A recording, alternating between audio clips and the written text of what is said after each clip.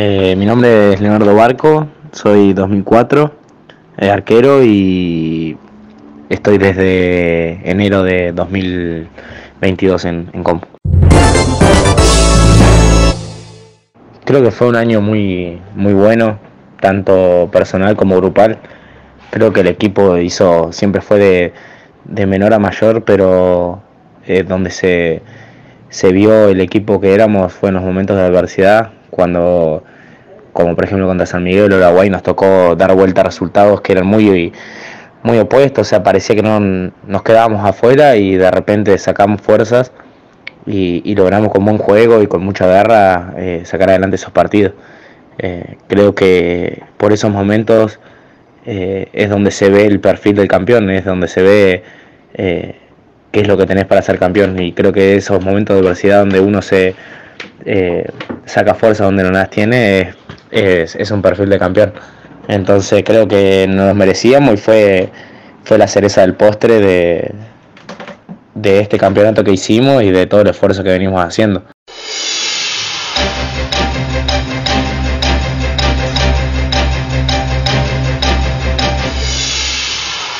Creo que es muy difícil explicar solo con palabras que, que, es el fútbol para uno.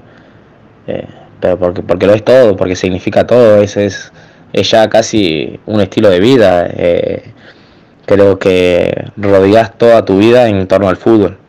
Eh, y entonces esas, esas cosas son muy pocas las que, las que uno encuentra en la vida, decir, amoldo mi vida solo para esto. Y, la realidad es que es muy difícil explicarlo, pero creo que es todo, es todo el fútbol para mí. Eh, y es parte de mi vida desde muy chiquito. Y, después en la segunda pregunta, eh, creo que es una, una, sensación como que se hace muy, muy familiar, en el sentido de que te sentís acogido todo el tiempo, eh, no te sentís solo dentro de la cancha, siempre hay gente eh, preguntándote cómo estás, preocupándose por vos, no, te dejan sentirte solo ni dentro ni fuera de la cancha. Eso creo que es lo que hace grande a, un club y, creo que eso en, en común no, nos falta.